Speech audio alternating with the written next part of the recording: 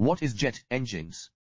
A jet engine can also be called as a reaction engine because the reaction produced by the engine propels the aircraft or vehicle.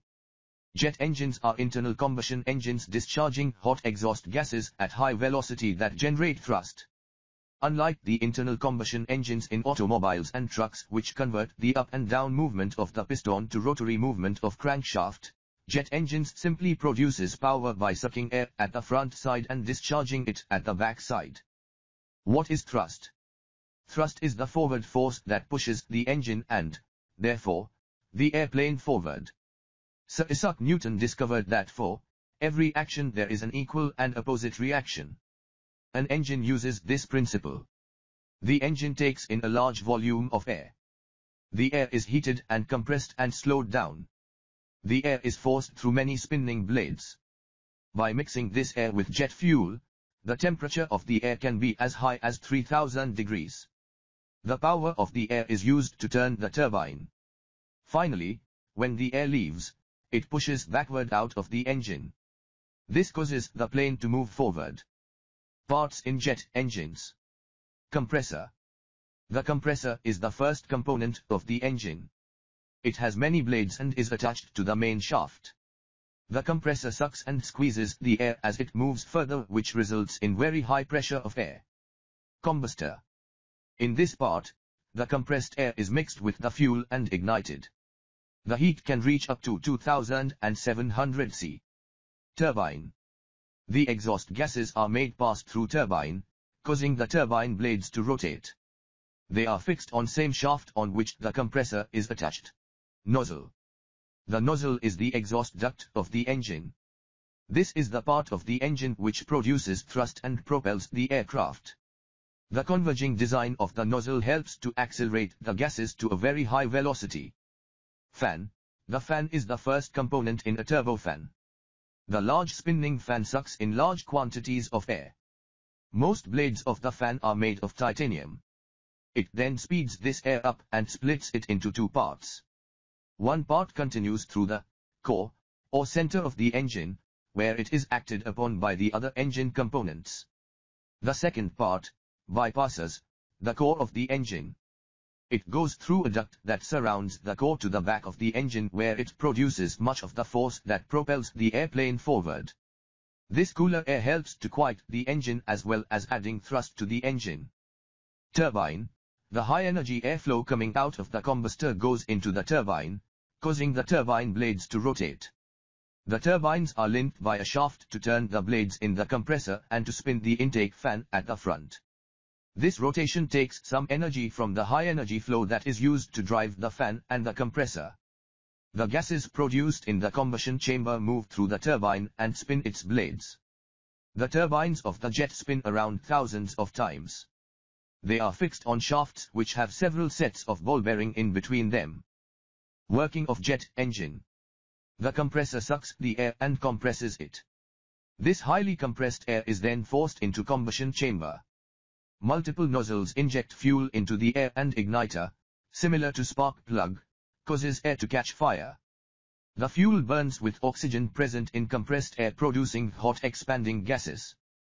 These gases are passed through the turbines which causes the blades to rotate.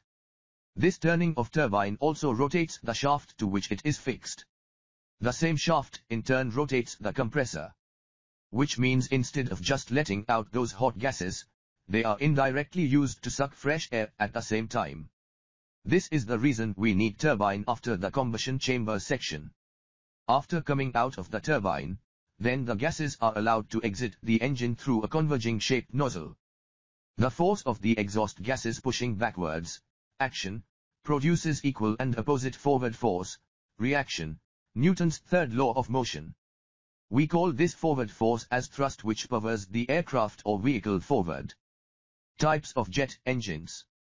The first jet engine successfully flew in August 1939. Hans von Ohain of Germany was the designer of the first operational jet engine. Types of jet engines gas turbines. Turbojet engines. This are most common type of jet engines. The fans in the front does the work of compressor. The compressed air is then forced into the combustion chamber.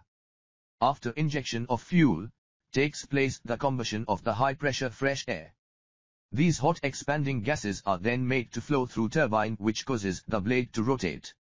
The turning of turbine also helps to run the compressor as they are connected to the same drive shaft.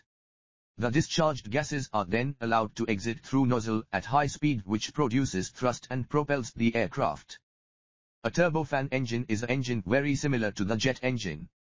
Like the turbojet, it uses the same gas generator core I.E compressor, combustor, turbine, to produce thrust and turbine is used to run the compressor as well as the fan.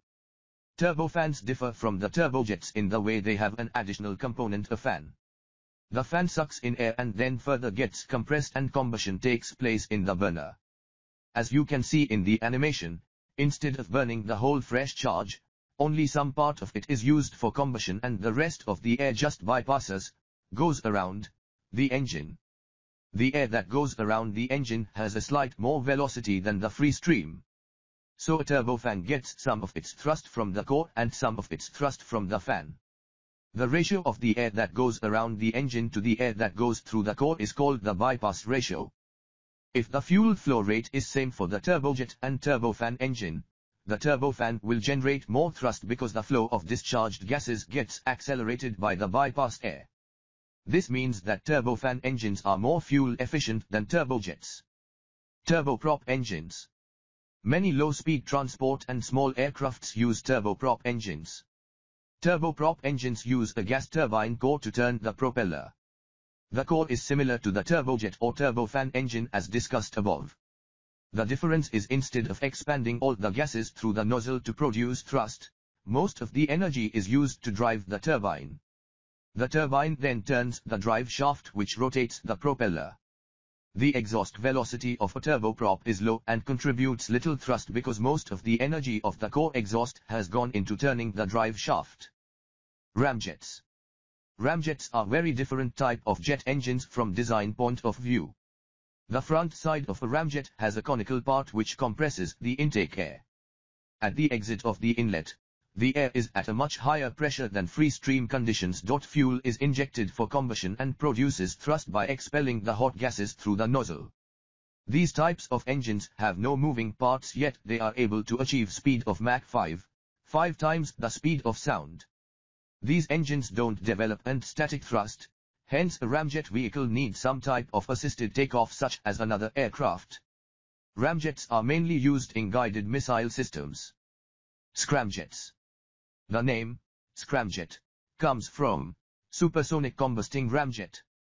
Like a ramjet, they consist of an inlet, a combustor, and a nozzle. The primary difference between ramjets and scramjets is that scramjets do not slow the oncoming airflow to subsonic speeds for combustion, they use supersonic combustion instead. Scramjets can operate at speeds above Mach 6 where traditional ramjets are too inefficient. Advantages 1 does not have to carry oxygen. 2. No rotating parts makes it easier to manufacture than a turbojet. 3. Higher speed could mean cheaper access to outer space in the future. Disadvantages 1. Difficult, expensive testing and development. 2. Very high initial propulsion requirements. Interesting facts. In 1903, the Wright brothers flew, the Flyer, with a 12 horsepower gas-powered engine. It was Frank Whittle, a British pilot, who designed and patented the first turbojet engine in 1930. The Whittle engine first flew successfully in May 1941. Jet engines not only power aircraft but also cruise missiles and unmanned aerial vehicles, UAV or we also call them drones. A car named SSC Thrust, currently holding the land speed record, is powered by a jet engine.